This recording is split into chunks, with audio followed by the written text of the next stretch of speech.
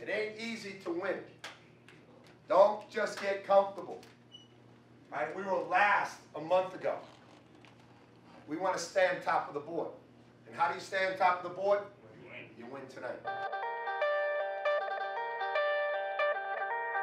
Welcome to the Reilly Center on the campus of St. Bonaventure University as the Bonnies open the home portion of their Atlantic 10 schedule against the Fordham Rams.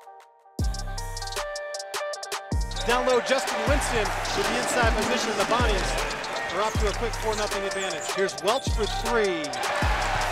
Stay red hot. Big three ball from Dominick Welch. Here's Welch for three. Right back at him. Dominic Welch, a big time answer.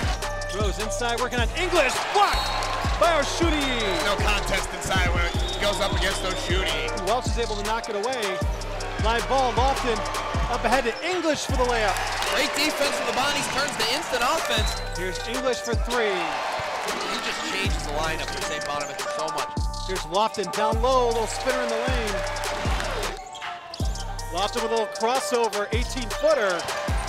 He's hitting that shot. There's no way to stop him. Beautiful cross to get himself free. And English inside. Gets the lefty layup and the foul. what a move from English. And a little floater by Johnson. Good take from Johnson.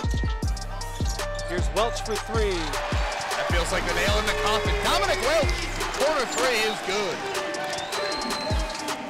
So the Bonnie's able to win it 64-44, 3-0 in A10. Playing out for St. Bonaventure. He said wasn't pretty, but they get the job done.